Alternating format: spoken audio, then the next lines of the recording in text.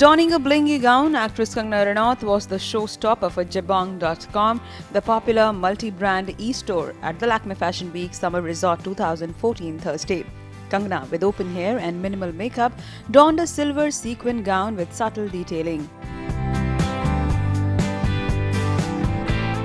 With over a thousand international high street brands, the e-store launched the must-have women's wear collection by British brand Dorothy Perkins. The garments included printed dresses, lacy tops, denim leggings, textured jackets, printed comfy pants, soft cropped jackets, rompers and shimmering cocktail creations. The fashion week, which started March 12, will continue till March 16. IANS report.